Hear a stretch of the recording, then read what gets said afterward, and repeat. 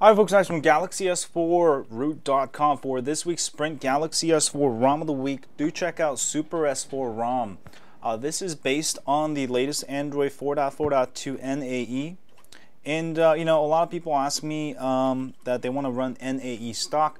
Now, this is way better than stock uh, because out of the box, um, your hotspot is working. Uh, no mods needed. It just works. I'll just turn it on. Uh, that's great for those of you who need this feature, and uh, I'm sure many of you uh, do need it. And also, it does come with two different cameras, uh, which is nice. Um, you'll get the regular S4 camera. I think this is a Moto X camera or something. Um, I'm not exactly sure what it is, but uh, it, it, does come with an extra camera. And also, you can get um, Google Camera along with it. Uh, go ahead and just download off the Play Store if you want to. There we go.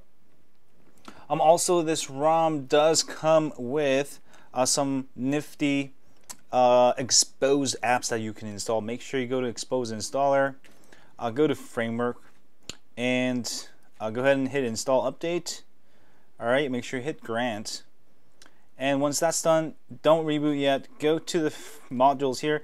Um, you can go ahead and uh, install some cool stuff like S5 System UI theme.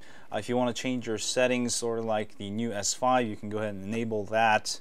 Enable it and reboot. That's all you got to do. And also, Wanam Xposed app is great for customizing uh, your phone, um, such as adding uh, flashlight shortcuts and other miscellaneous UI uh, customization. I do have a short tutorial on that. I'm using my Note 3, but it is pretty much the same for the S4, so check that out. Uh, and a couple more um, Xposed modules there. Overall, this is an excellent, fast-performing ROM.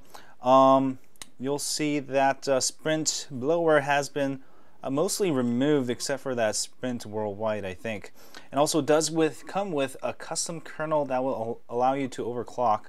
Oops allow you to overclock to um, 2.2.3 uh, gigahertz if you want to, but I don't recommend that high.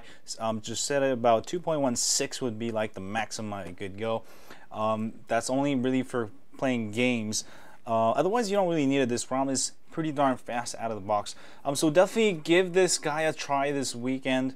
Uh, if you're looking for a good TouchWiz ROM that's based based on the latest firmware. Uh, and do let me know what you think. And as always, if you have a Galaxy S4, um, don't forget to subscribe to my email list at galaxys4root.com.